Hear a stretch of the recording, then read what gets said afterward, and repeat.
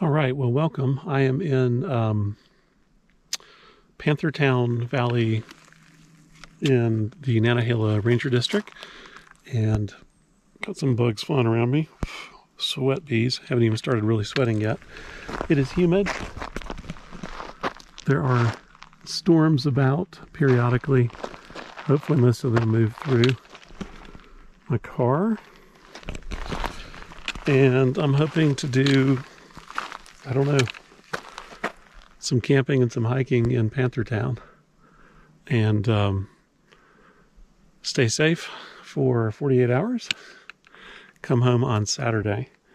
It is Thursday afternoon, 5 o'clock. And so I need to get underway so that I can get to um, possible campsites down in the valley, which is the destination. So this is the road.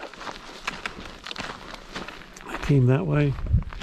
I'm going this way, and I should be um, should find Turkey Knob Trail going off to the left. Yep, right up there it looks like. So I'll keep y'all with me on this first part. I mean, this area already is gorgeous, without question. But it's also very remote, and I'm solo backpacking, and um, so yeah, this is probably the the most isolated and on you know stuff like that I've been for a while. So is this my trail? I believe it may be. Let's see what it says up here. And I'll just get into trail mode and start hiking. Turkey Knob, yes. Closed motor vehicle equipment. All right. Onward.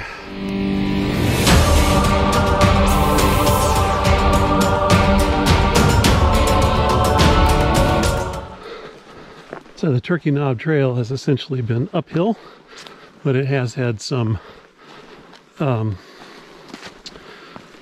switchbacks, which I appreciate. They're pretty gorgeous with fern on one side, rhododendron on the other.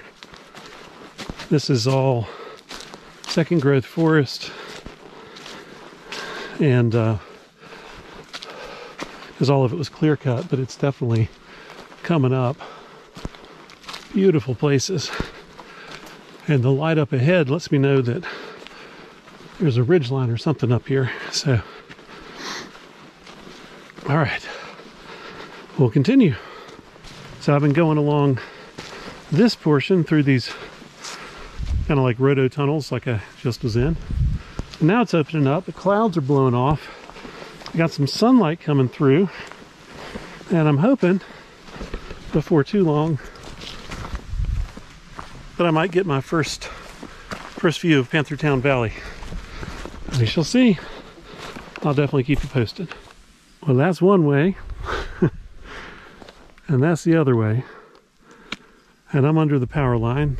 And I came from there and I'm going here, but I'm going to pause first and look at my map because now I know exactly where I am. This power line cuts the valley in half. This power line road headed towards Sassafras Gap. That is Turkey Knob Trail, which I just finished. This is the other end of Power Line Road. And this is my destination, which is the Black Rock Trail, which goes up a ways to the top of Black Rock Mountain, and that's where I'll have my view. It's really beautiful and quiet.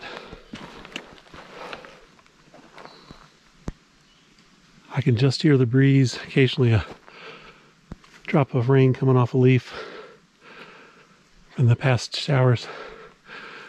And I think, judging from the ridge line, the light up here, I'm moving up to Black Rock Mountain. That should be nice. But uh, as beautiful as all this is, and as pretty as it is, it is equally humid, as you may be able to tell from my face. Okay, definitely drinking a lot of water. Check out the shelf fungus on those trees, on that tree trunk. It's dead.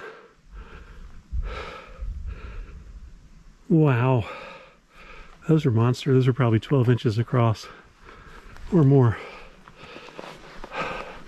Very cool. I finished, didn't finish.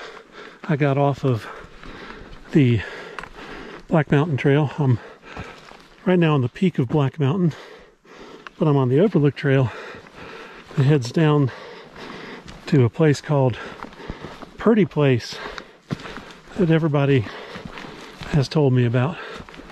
And I can see through the trees that this trail opens up a lot on the right and ahead. It's a pretty place. I think will be my long-awaited first view of Panthertown. All right, two hours of walking. And I think I'm on the verge of reaching Purdy Point. Oh, hell yeah. Wow. Wow.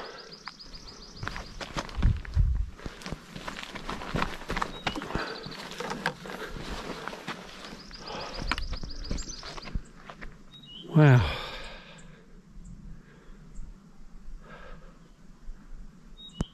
Atmospheric clouds. I believe that is Big Green Mountain. That should mean somewhere over here is Little Green Mountain.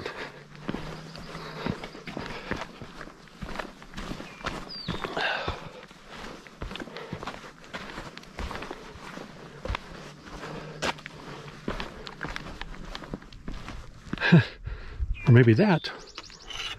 Yeah, that's Little Green Mountain.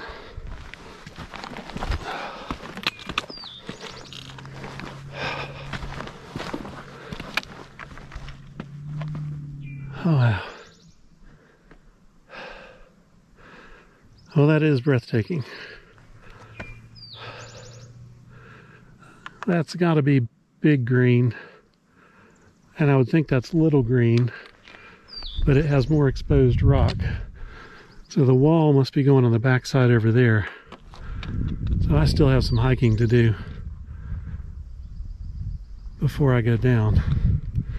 But I am going to orient myself with the map and take a selfie. Why not? Hey, I opted for the Powerline Road again. And what it is, is tons of lichen and moss and a solid bed of road. I mean, a solid bed of rock for the road. This is solid granite. And I've been walking down this sheet of granite for quite some time. So, pretty impressive geological structures here. All right, coming up, yeah, big old mud puddle it looks like, but fortunately I think I can get around it. All right, hey bear, coming through. My voice is getting hoarse from saying that, but I'm not going to stop.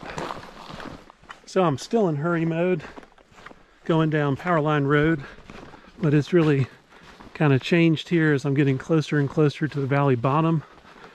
And the valley bottom is opening up more and letting in more light, which is really nice. I'm pretty excited about that. And this, wow, that's my first campsite.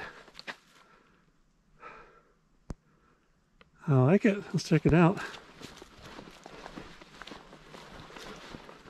Horses have been here. Yeah, this is literally the first campsite I've seen. Plenty of trees, fat old trees. Not a whole lot of wood, I imagine.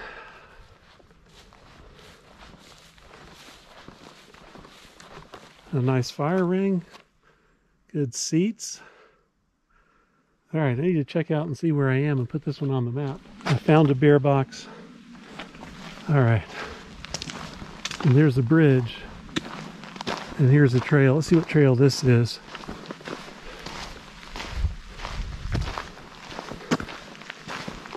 Looks like another campsite there. All right, Panthertown Valley Trail goes that way. And that is Powerline Road. Panthertown Valley Trail goes this way. And there is a bridge.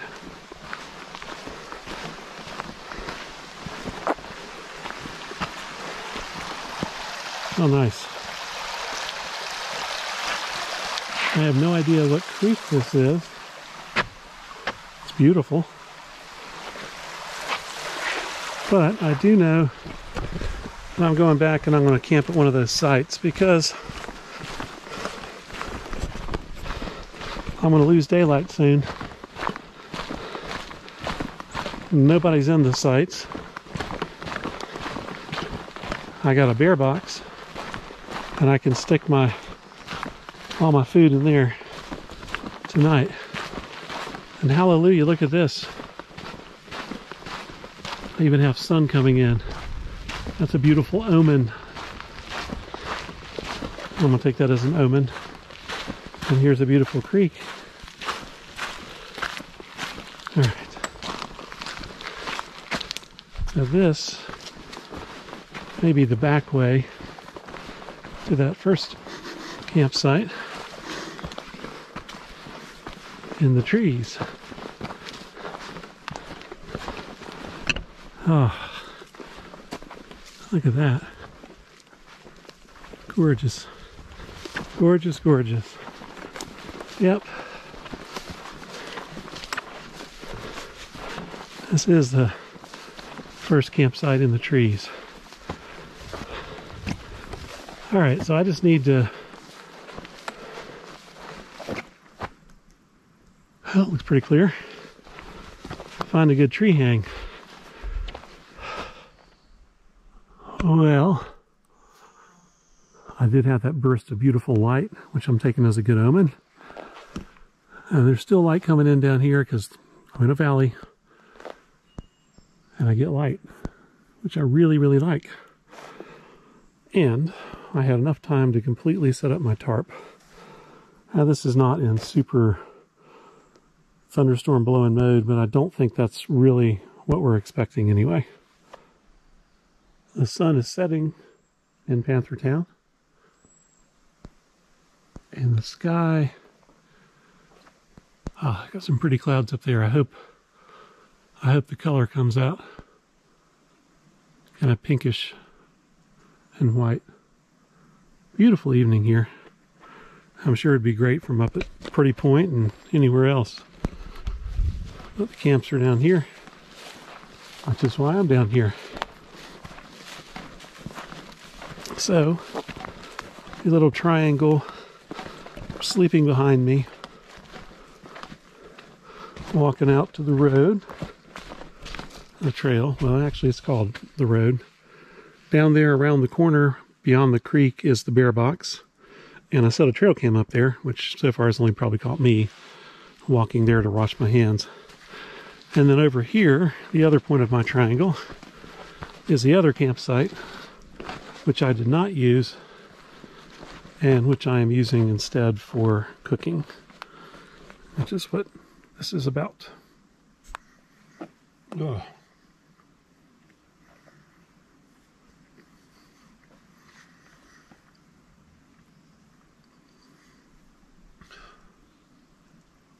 Gotta say, it's one of those first nights where you get to camp, you're tired, food just doesn't seem like a good thing, but it is. And having made two cups of it, now I gotta eat it. Whew. It's a chore at this point. Hopefully, if I'm lucky, hopefully if I'm lucky I'll catch some fireflies on camera because they're beginning to come out which is cool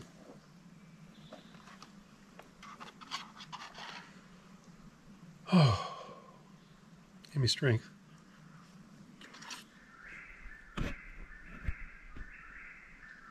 The glow of light in the distance is my lantern in my campsite. The sounds you hear are whippoorwills, if you hear them.